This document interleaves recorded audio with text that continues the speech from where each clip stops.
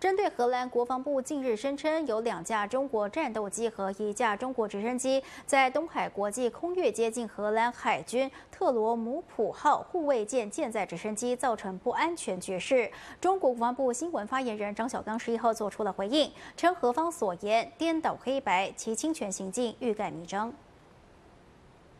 发言人指出，核海军特罗姆普号护卫舰舰载直升机为上海野东侵权挑衅，中国人民解放军东部战区采取语音警告、起飞战机等方式予以外逼驱离，完全合法合理，全程专业规范。制造不安全的恰恰是何方，而不是中方。何方谎称执行联合国任务，在他国管辖的海空域炫耀武力，制造紧张局面，损害两国友好关系。何方？有关言行性质恶劣，中方对此表示强烈不满，并且已向其提出严正交涉。中方正告何方，严格约束海空兵力行动，侵权挑衅必遭中方坚决反制。中国军队始终保持高度戒备，坚决捍卫国家主权、安全和海洋权益。